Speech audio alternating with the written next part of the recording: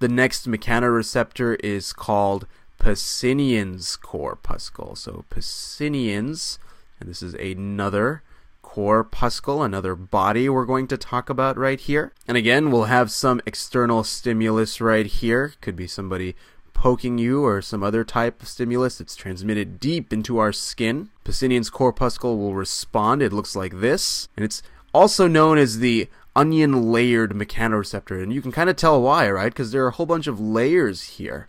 And another term for Pacinian's corpuscle is the lamellar corpuscle. And lamella just means a layer. So there are many lamella around here. And in fact, that's an important term, so I'll write it here. Lamella. So this is a lamellar corpuscle. And it's also kind of a fun word to say. And so notice all of these layers here. What happens is that when we have this force transmitted deep into our skin, we'll have, let's say, this layer here I'm trying to outline right there. That layer will stay still, but the layer immediately outside of it that I'm outlining right here and so this outer force right here will cause this outer ring right here to respond by spinning. It'll kind of turn this way relative to the inside disk. And compared to Meissner's corpuscle above, in order for this disk to move in this direction and relative to this inner disk right here, we would require a little more significant of a stimulus. So we'd want something like a push or a poke to cause this disk to move relative to this disk. And it'd be the same thing as what we saw earlier with Meissner's corpuscle, that when one disk moved past the other, there's an opportunity for sodium to enter this ring, and this ring is also an epithelial cell that's been specialized, and they're all kind of these concentric rings that lead into the middle. And what do you think sits here right dab in the center? Well, if you guessed an afferent nerve fiber, you are absolutely right. And so the sodium ions will kind of go through between these rings or these epithelial cells to get to the center. And eventually, that would be a lot of sodium building up in this afferent nerve fiber, thus generating an action potential that will be sent to our central nervous system. And so, if all this began from kind of a significant stimulus like a push, that means that Pacinian's corpuscle likely perceives deep touch. And it's deep touch of hairy and non hairy skin. And an example of that would be kind of what I drew up here. That's just going to be a poke.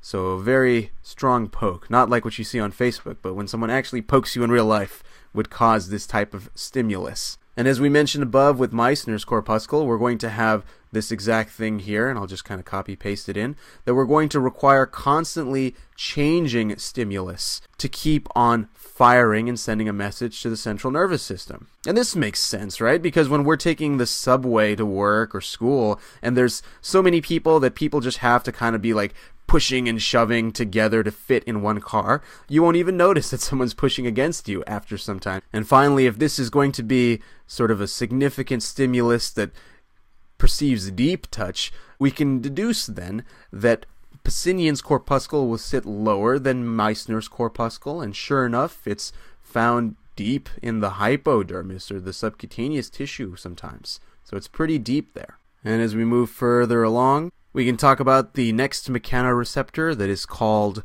Merkel's disc. So Merkel's disc. We've been talking about corpuscles all this time, but now we'll just talk about a single disc. And our stimulus will be the same if we have some type of external force right here that kind of pushes and transmits this force deep within our skin, we'll have Merkel's disc respond. And I don't have a fancy picture for it, and that's because Merkel's disc is actually just a specialized keratinocyte or an epithelial cell that's not unlike the regular cells that you have in your epidermis. So it kind of sits in your epidermis, as we'll talk about too. So it kind of looks like this. And as I'll mention in a little bit, this also has an afferent nerve fiber that sits right there. And the reason why we have all of these little vertices right here is because Merkel's disc holds a whole bunch of vesicles. You might remember that term, vesicles, which are just pockets that have membrane around them that's sitting within the cell. These pockets hold a neuropeptide. So I'll draw a little neuropeptide in each of them. And you've probably heard of neuropeptides before, but it's just a peptide, which is a string of amino acids that talk to the nervous system. So I'll label that. This is a neuropeptide sitting within our vesicle in our specialized epithelial cell, the Merkel's disc. And what I'll draw down here is a little receptor. And so I'll just write This is going to be an N, just to be a neuropeptide, NP receptor, just to abbreviate because I don't have that much space. That's an NP receptor. And so what will happen is that when we have this force transmitted right here, it actually causes the vesicle to open up. And so this kind of splits open right there and allows the neuropeptide to be liberated. And it's going to be present within the cell, kind of floating around. And then over time, it'll come and sit down right here.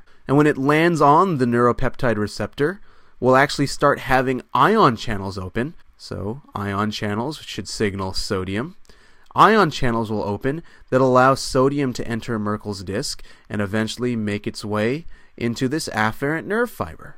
And that generates the action potential that'll go communicate with our central nervous system. And with Merkel's disc, like we mentioned, this is just a specialized keratinocyte or an epithelial cell. It's just like what we have sitting in our epidermis. So much so that it's located itself in the epidermis. It's found in the stratum basale, and sometimes it could be even lower in the, the papillary dermis. So it's in the interface between the stratum basale of the epidermis and the papillary dermis. So I'll write 2 here to emphasize it's in between these guys. And so the trick is that if you remember that this is a specialized keratinocyte like what's in the epidermis, you remember then that it sits pretty high up in the stratum basale to the papillary dermis, and so it's responsible for perceiving light touch. Light touch, this is going to be on both hairy and non hairy skin, but it's different from Meissner's corpuscle because this is sustained light touch. So, this is something that's going to keep on firing as long as you have the stimulus present.